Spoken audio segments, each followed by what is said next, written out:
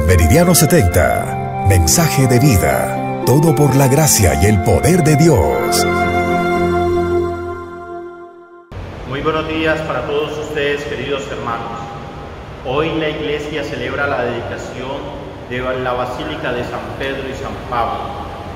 Estos dos apóstoles que representan la unidad de la iglesia, que representan la misión que el Señor nos ha confiado. Así, hoy, con gran gozo, escucharemos este Evangelio que nos pone en camino de conversión. Por eso los invito para que oremos por todos nuestros hermanos que pasan por momentos difíciles, por nuestros hermanos secuestrados, por nuestros hermanos que sufren el desplazamiento, por los migrantes, para que el Señor les conceda la gracia de siempre perseverar en la fe, la esperanza y en el amor, y a nosotros nos dé un corazón generoso para ser solidarios. Consagremos nuestra jornada en el nombre del Padre, del Hijo y del Espíritu Santo. Amén. Oh Espíritu Santo, que hacéis elocuente la lengua de los niños, instruí la nuestra, haced descender sobre ella todas vuestras bendiciones. Danos inteligencia para comprender tu palabra, facilidad y abundancia de palabras para expresarnos bien, memoria para retenerla y ponerla en práctica Jesucristo, dirigir nuestros proyectos y hacer que lleguen a feliz término por Cristo nuestro Señor. Amén. Del Evangelio de San Lucas, capítulo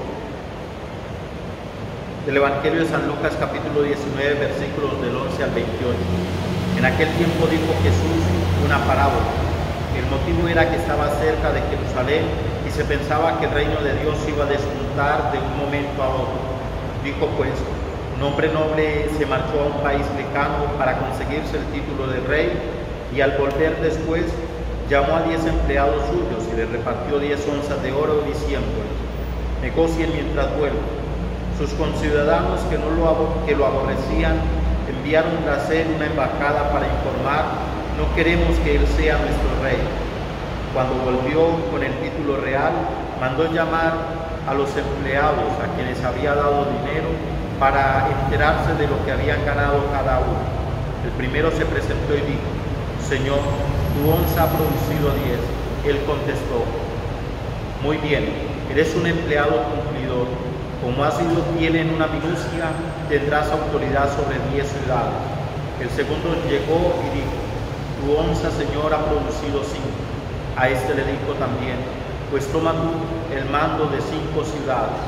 El otro llegó y dijo, Señor, aquí está tu onza, la he tenido guardada en el pañuelo.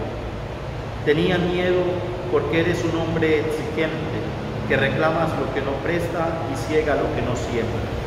Él le contestó, por tu boca te condeno, empleado holgazán, con que sabías que soy exigente, que reclamo lo que no presto y ciego lo que no siembro, pues, ¿por qué no pusiste mi dinero en el banco? Al volver lo había recobrado con los intereses. Entonces dijo a los presentes, quítenle a este la onza y désenle al que tiene diez. Le replicaron, Señor, si ya tiene diez onzas, les digo, al que tiene se le dará, pero al que no tiene se le quitará hasta lo que cree tener. Y a, este, a estos enemigos míos que no me querían por rey, tráiganlos acá y dególlenlos en mi presencia. Dicho esto, echó a andar delante de ellos subiendo hacia Jerusalén.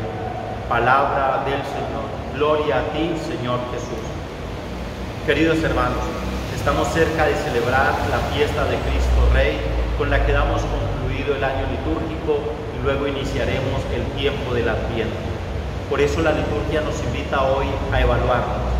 Este pasaje que hemos escuchado en otros textos se le conoce como la parábola de los talentos. Es el tiempo de la evaluación es el tiempo de recoger los frutos de nuestro trabajo.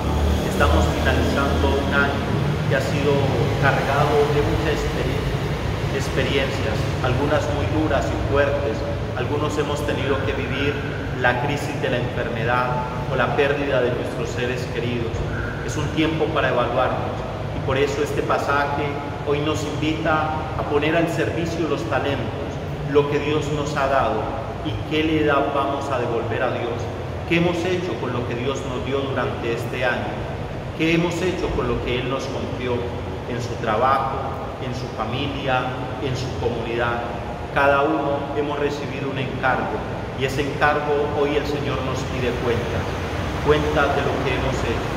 Somos de esos que nos hemos confiado en la gracia del Señor y la hemos hecho producir, o tal vez de esos temerosos que lo han escondido y por eso no producen nada, sino que al contrario, solamente lástima y recriminaciones, porque es lo que hacen, lamentarse en todo el tiempo sin hacer nada, ni por ellos, ni por sus vidas, ni por las de sus familias. Hoy el Señor nos invita a poner al servicio nuestros talentos y que nos evaluemos cada uno. Que el amor de Dios nos acompañe y que nuestros frutos sean los que den el valor de nuestra vida. Que la bendición descienda Padre, Hijo y Espíritu Santo. En Meridiano 70, mensaje de vida. Todo por la gracia y el poder de Dios.